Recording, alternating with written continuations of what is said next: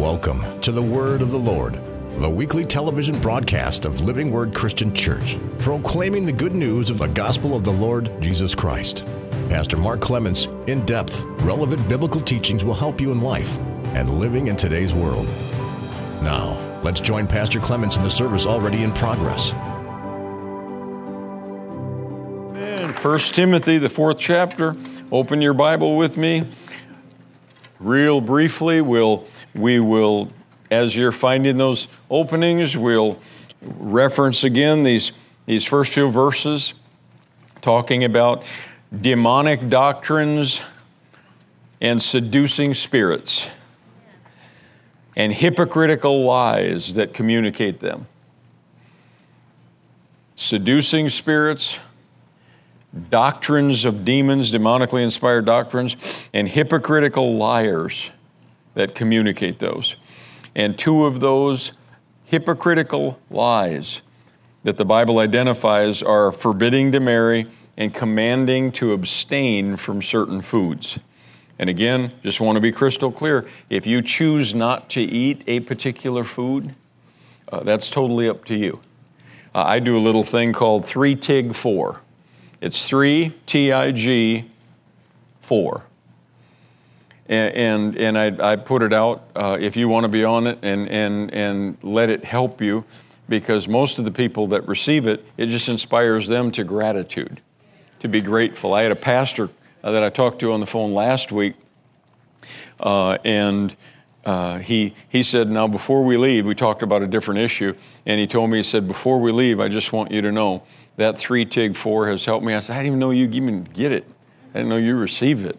My staff takes care of who, who gets it, and if people say they don't want it, we take them off the list. It's, but uh, I, I, I, attended a resilience training uh, that was uh, two years ago, I believe it was, was put on by a retired uh, member of the Federal Bureau of Investigation, U.S. Department of Justice, and, and he just did a tremendous two-day conference on, on resiliency.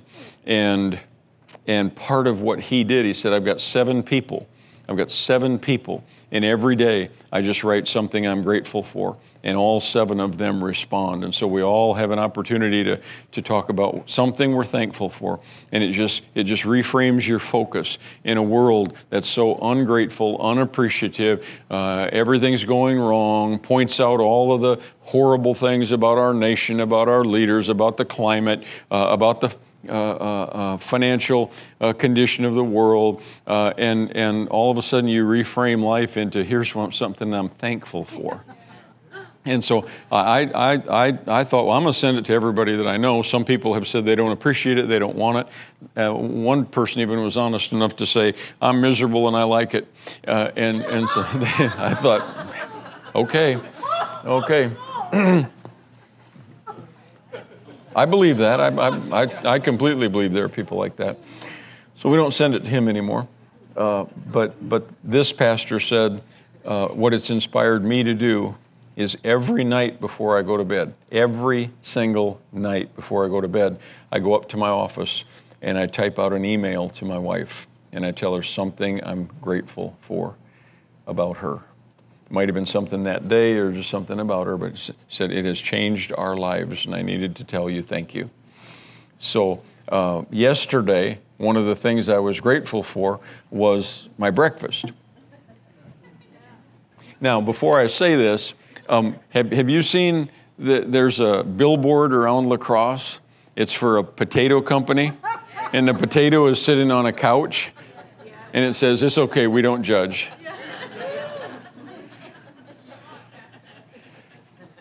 So I just want to tell you that it's okay not to judge before I tell you. I said, uh, one thing I'm grateful for is what I had for breakfast dried pineapple and a Kit Kat bar. oh, you'd be surprised how, how, how the, the tastes go. And that dried pineapple, I even put in there, I buy it at Menards. You imagine? You can't find it at grocery stores, but you can buy dried pineapple right around, right around the, the, the cash registers at Menards, so I just get that. And boy, you take a bite of Kit Kat bar and piece of that. And, and last year, one time I said uh, a Kit Kat bar and blueberries. And, and the taste, boy, I got more responses to that. You were right. That is so good. I mean, from all over the place, different states, different countries, even. And so I put that in there yesterday. Man, my first response this morning was Bishop Augustine from Florida. He's down there for three more weeks. And he says, I love what he said about that. I love his breakfast. I love dried pineapple and a Kit Kat bar. Listen, you may not ever want to try it. I'm not telling you to. I'm not even saying you should. And I'm certainly not going to tell you you shouldn't. You know what Paula had for breakfast this morning? I was down in Dubuque yesterday helping Marty Hansel. Pastor Hansel, who passed away in February, and his wife, and we're still helping her with, with different things. And, and went down yesterday and, and uh, uh, picked up a pickup truck that Steve owns, and we're trying to get that sold for her. Uh, and she made absolutely certain that we did not leave her house without this plate covered with pecan cinnamon rolls. Like cinnamon rolls sitting on a bed of pecans with frosting all over the top. Now, I wouldn't know how they were, I didn't have one today. My loss, she said. She told me they were wonderful. Now, you may be sitting here saying, I would never let anything like that touch my lips. Well, if you're the least little bit prideful, about that you don't eat stuff like that, then, then, then you need to repent. That's just all there is to it. The Bible says judging someone else because of what they eat is just as bad as judging someone else for what they do not eat, and both of them are sin. And if you feel like you're superior because you don't eat a certain thing, and, and somebody else feels like they're superior because they do eat a certain thing, you both need to repent. There's no spirituality on what you eat and don't eat. No, he says right there in Romans 14, 17, the kingdom of God is not what you eat and what you drink, it's righteousness, peace, and joy in the Holy Ghost. So here, he, it's, this is a spiritual thing. You're going to be more spiritual if you don't eat a certain thing. Now we've got we've got some friends that we've made over the, the past couple of years. Their son was killed in a in a terrible auto accident, and he was a state patrol trooper. And uh, every now and again, we'll see him, make a make a uh, effort to get together with them to check up on them, see how they're doing. Uh, they, they, they both, uh, since we got to meet him, turned their lives to Christ. He got saved. She got renewed her relationship. They're, they're, they're, they're loving the Lord, reading the Bible together. Uh, and uh, what, what, a, what a great joy Sam and Cindy, uh, Stan and Cindy uh, are to us. But, you know, last time we got together with them, and they said, well, we, we, we try to, we just try to, you know, one day a week eat, eat just fish and no meat. There's no problem with that. But he looked at me and said, But if there's no fish available, I'm going to get a butter burger. See? See? It's not a spiritual thing, it's just a health thing. Uh, and, and there's nothing wrong with that whatsoever. But as soon as you start to feel like you're more spiritual or less spiritual because of either abstaining from certain foods or abstaining from holy matrimony, the Bible's really clear right here, isn't it? I don't know why there'd be any confusion about it at all. The Bible says that's a hypocritical lie, demonically inspired doctrine. No two ways about that one, is there? Okay? And then he says uh, those things have been created by God to be received with thanksgiving. With what? Thanksgiving. thanksgiving. Them that believe and know the truth. And every creature of God is good, nothing to be refused if it's received with what? Thanksgiving, yeah. Not on Thanksgiving, with Thanksgiving. For it's sanctified by a word of God that's offered in prayer. We covered all of that, taught all of that. We've looked at verse 6. It says, Put the brethren in remembrance of these things, and you'll be a good minister. Good ministers put people in remembrance of things that they already know, and, and that just drives it deeper and grounds it, grounds it further. And then it makes this statement. I had this conversation with Tony Cook last week. And, and he looked at that, and I looked at it, and we looked together. And he said, I've never seen that. I've never noticed that, but that's exactly right. That is what the Bible says. It says, You're nourished up in the words of faith and of good doctrine. It doesn't say faith in good doctrine, it, it, and even if it would, uh, it, it still delineates that there's a difference between the two, identifies that there's a difference between the two. Everything that you read in God's Word does not produce faith. Some of it is just good doctrine. See, if I, if I, if I stand up and just give you a whole message on let no corrupt communication proceed out of your mouth, that's not going to produce faith to receive a promise, but it's good doctrine. If I come over to this side and have all the husbands stand to their feet and say, Love your wife as Christ loves the church, that's a commandment. That's a demand of our God upon your life. That doesn't produce faith for you to receive a promise. Now, every verse in the Bible is infused so that faith is produced as you hear it. That's clear in the Bible. Faith comes by hearing, and hearing by the Word of God. Some people think you have to hear a verse on a certain subject, or faith isn't produced for that. That doesn't come from the Bible, that's human reasoning. The whole Bible produces faith when it's heard, according to Romans chapter 10, delivered under the anointing of the preacher. Something, something we, we might call, if we were worldly, mystical and magical about that. We, we, we don't, it's just spiritual. That's the way our God has designed the system to work, and, and so that it does. But everything in the Bible, see, we could turn back to, to uh, let's see how our memory is. We could turn back to Proverbs chapter 6 and identify the six sins that God hates. See, seven are an abomination to him. We just identify them. What was the first one? Pride. What was the second one? A lying tongue. What was the third one? Murder. Murder, shedding his in blood. What was the fourth one? Heart that's swift to run to mischief. What's the, what's the fifth one?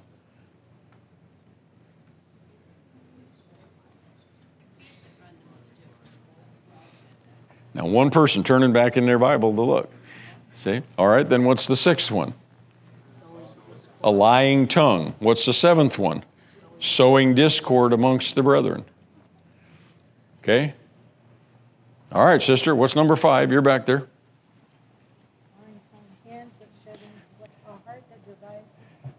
We got that one. Feet that are swift running to mischief. So those are the seven. Now, that doesn't produce faith in your life to receive a particular promise, but it does produce faith, and it's good doctrine. So if it's specific to a promise, if it's specific to one of God's provisions, say for instance, salvation unto eternal life.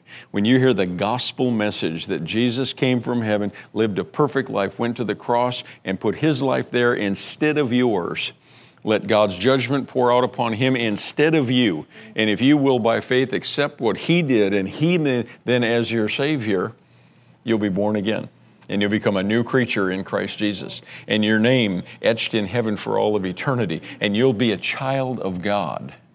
And old things will pass away and everything will become new. And you'll be an ambassador of the Lord Jesus Christ from that day forward.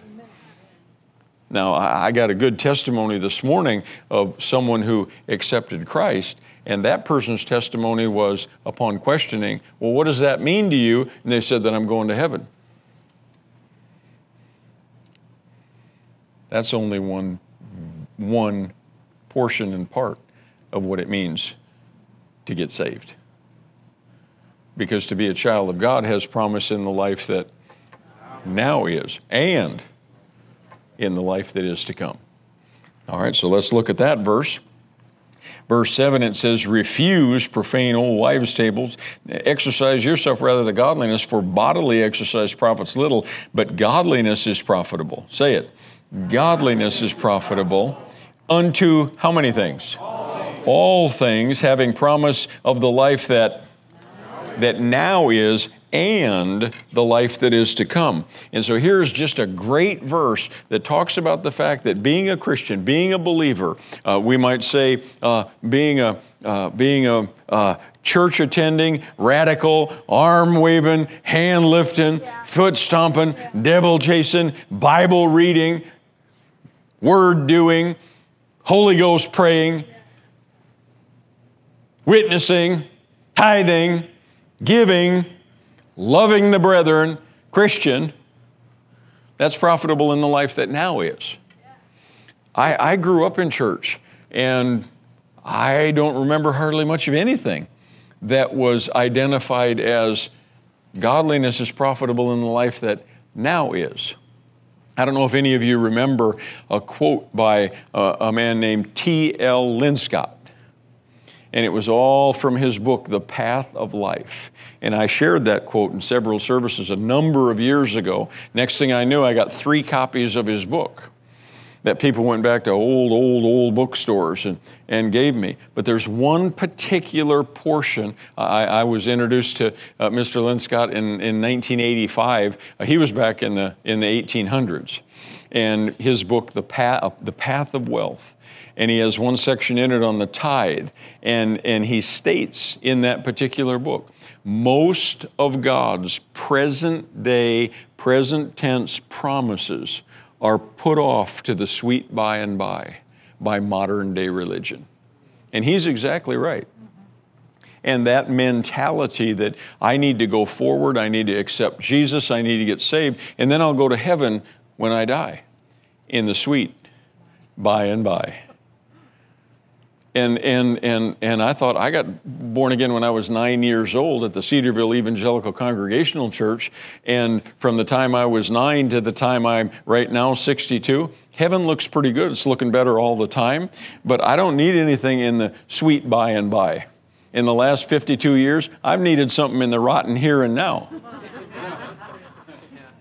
And, and, and I found out that God's blessings of empowerment and supernatural strength and leadership and guidance and supernatural protection and healing for this physical body that, that, that I'm encased in and supernatural provision in the financial realm and the favor of God that surrounds me like a shield and, and joy unspeakable and full of glory and the peace of God that surpasses all understanding and something that I thought I, I, thought you had to do be, be, be all wrong and do something bad to get wealth.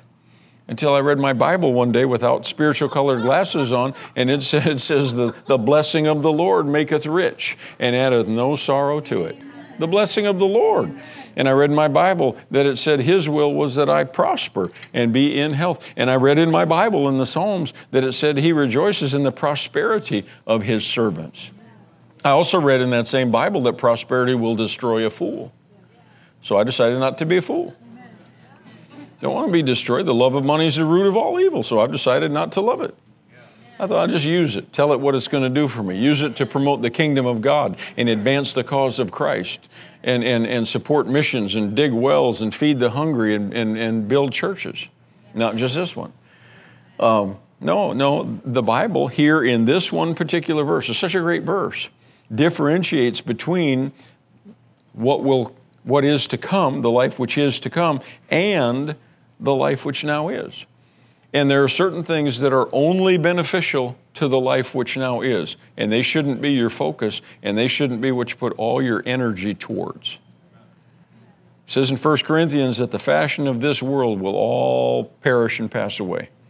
And so, all the things that we throw ourselves into and make our focus that are only going to exist right here in this lifetime, uh, we've got our priorities out of, out of place and, and our focus ought to be on things that are eternal and, and, and the life which now is. And that's a short list.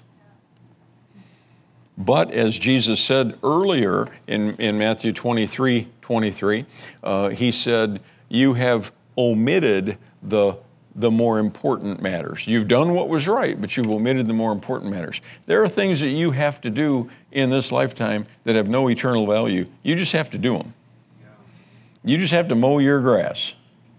You know, you, you, you just have to wash your face. Yeah, you just have to launder your socks. And there's really no eternal value in that. Launder somebody else's socks whose washer broken, there might be. But, but uh, th- there are things that, that uh, Paula, you vacuumed our whole house this afternoon. Uh, I, I, I don't think there's any eternal value in that. It just made our house look really nice. There are those things, and they shouldn't be neglected. I said they should not be neglected.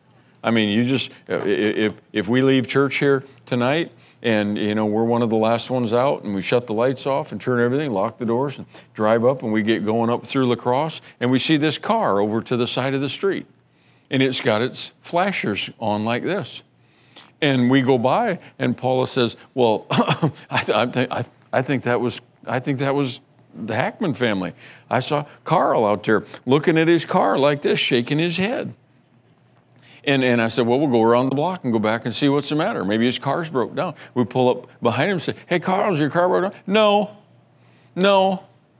I, I, I just don't understand this, Pastor, because I put all my focus on spiritual things and been thinking about the life which is to come, and my car ran out of gas. I don't understand it. I don't understand it. I don't get it. Listen, you got to pull the thing into the gas station when, when, when, you know, when, the, when the little needle gets down. There's an E on your gas gauge, Carl. that means empty.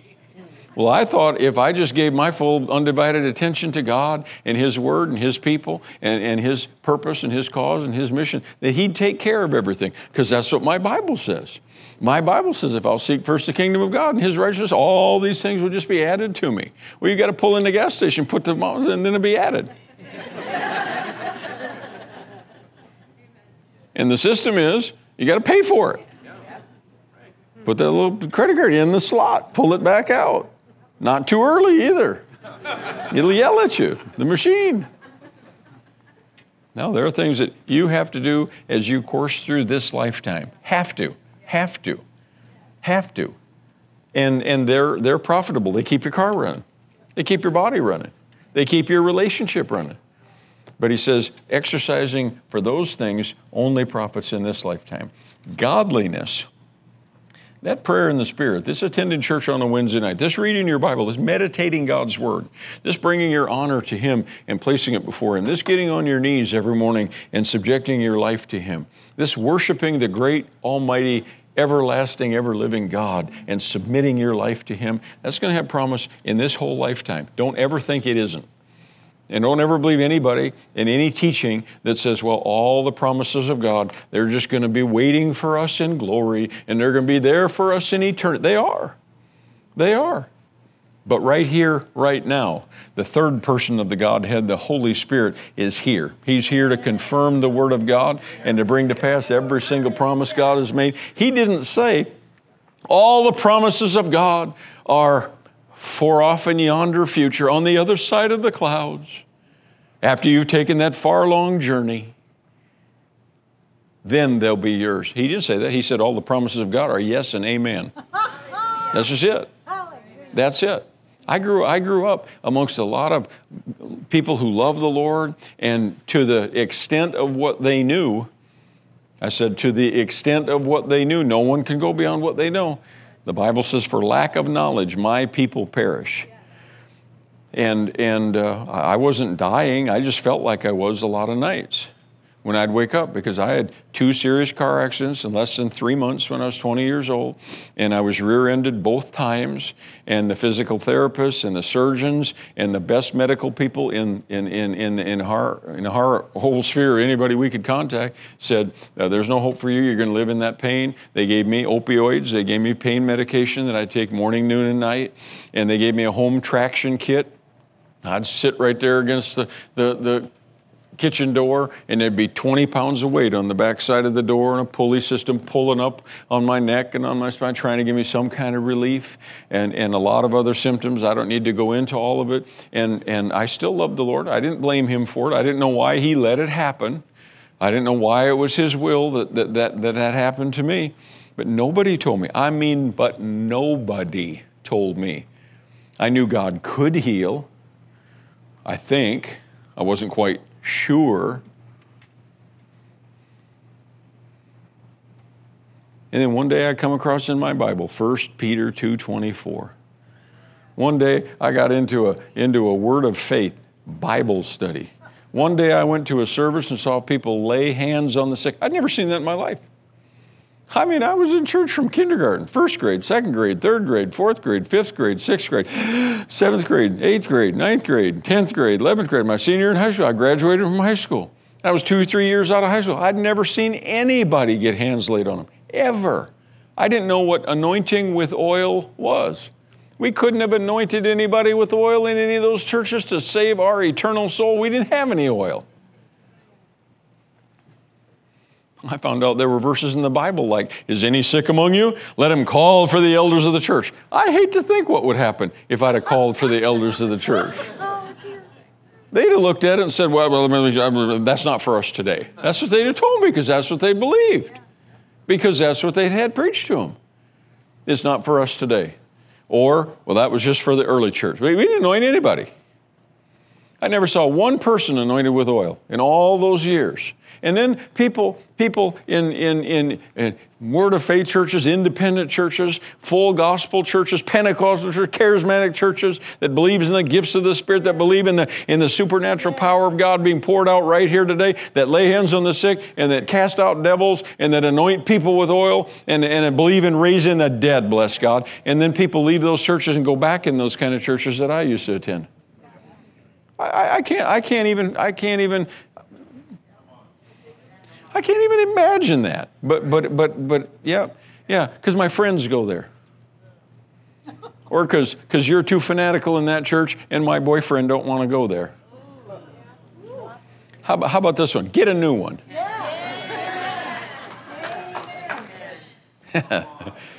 or, or you can be just,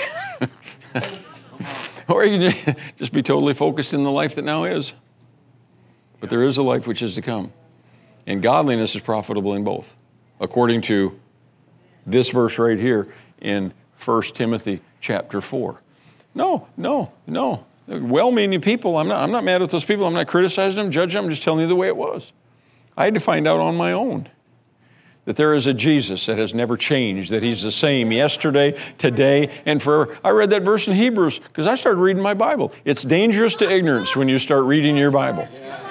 When Hebrews 13, Hebrews 13, verse 8 says Jesus Christ is the same. Not almost the same, the same. So I'd go back and I'd read Matthew, Mark, Luke, and John. I didn't find Jesus making anybody sick. I found him healing all manner of sickness and all manner of disease among the people. And then I'd go back and I'd look at it again. It says right here that he's the same yesterday, today, and forever. Do you have a Bible? Yes. Look at Hebrews 13, 8 and see if that's what your Bible says. Hebrews 13, verse 8.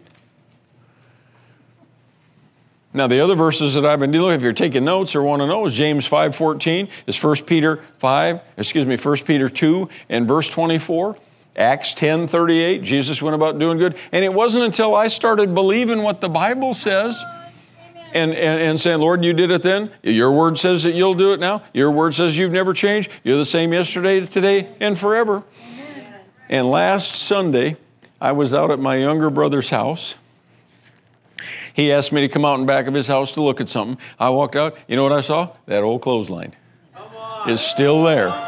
Because one day, nine months after I took my stand of faith, uh, and said, I'm going to trust you, I'm going to believe you. If this Bible is true, then, then all of these symptoms are going to have to dissipate and you're going to, you're going to manifest healing in this body. I believe your word is true, and I'm going to take a stand today to see it. I don't care if it takes the whole rest of my life.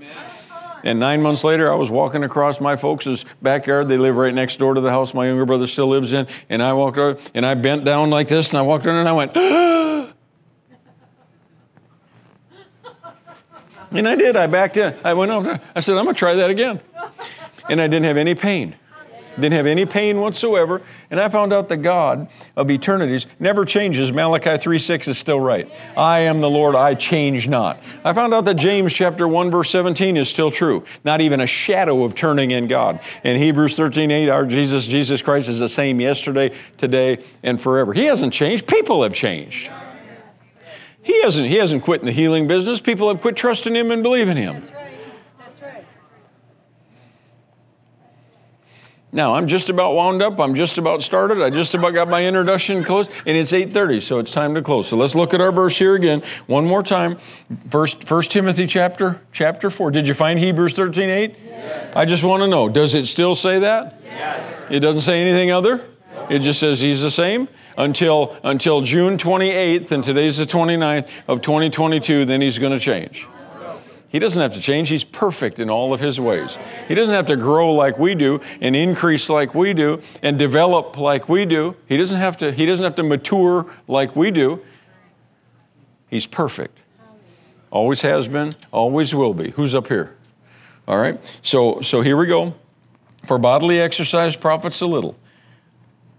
And, and it might profit some of us to have a little more of it. No, no, nothing wrong with nothing wrong with these things in this life that are profitable to us, that are necessary for us. Bodily exercise profits little, but godliness is profitable. Say it one more time. Godliness, godliness is profitable in all things, unto all things, having promise of the life that now is and of the life which is to come. Lord, thank you. Thank you for watching The Word of the Lord, a weekly television broadcast of Living Word Christian Church. Living Word Christian Church welcomes you to join us at 2015 Ward Avenue in La Crosse, Wisconsin. Sunday mornings at 8:15 and 10:30 and Wednesday evenings at 7. For more information on Living Word Christian Church, visit us on the web at lwcclax.com.